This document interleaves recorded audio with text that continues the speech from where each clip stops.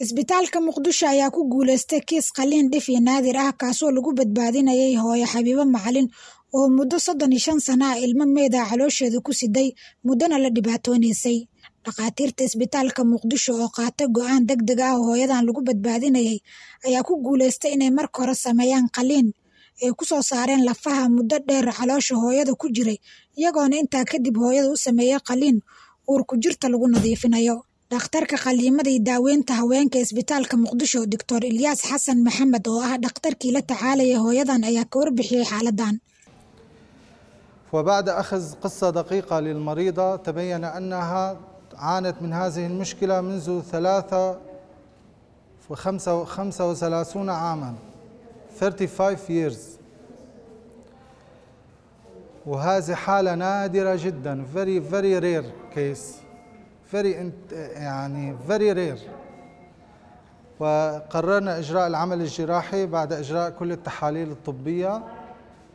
قرر وبمساعدة الكادر الطبي الدكتورة منى والدكتورة مريم في إجراء كامل التحاليل اللازمة وإجراء وإجراء أجرينا إي سي جي وإيكو كارديوغرام وإفريثينج agaasimaha caafimaadka isbitaalka muqdisho doctor xasan cabdulaahi ayaa ka warbixiyey marxaladda ay gashay hooyada waxaa isbitaalka muqdisho nagu soo booqatay maamo da-deedu lixdan jir ay tahay oo ka cabanaysa waxay u malayso buro muddo soddon iyo shan sano ah.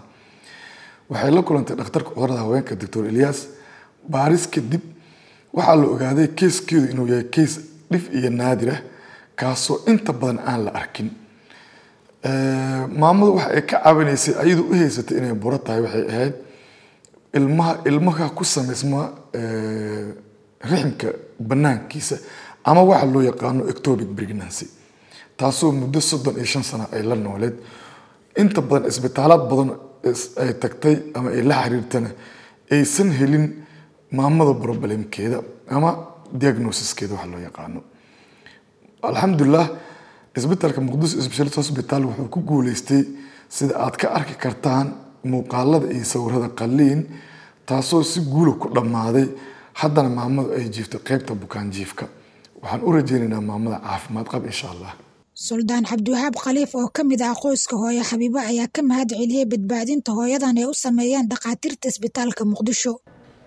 Dhakhaatiirta ka shaqaysa isbitaalkan khaasatan kuwa garbeyga taagan hadda rag iyo haweenba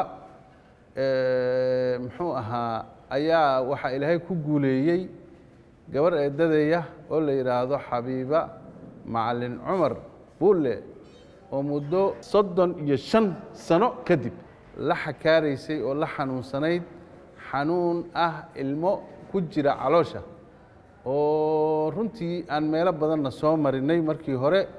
Aadna ay ula dhibanayd in ilaahay maanta subxaanahu wa tacaala uu nagu guuleeyey gaar ahaan isbitaalka muqdisho uu ku guuleeyey in ay oberethnkii sameeyaan ilmihiina ka soo saaraan. Kiiskan ayaa ku cusub isbitaalada ku yaalla dalkeena gaar ahaan muqdisho waxaana qalliinka kadib hooyadu ahayd mid aad u fiican. Ayaan aadan ciise warbaahinta qaranka muqdisho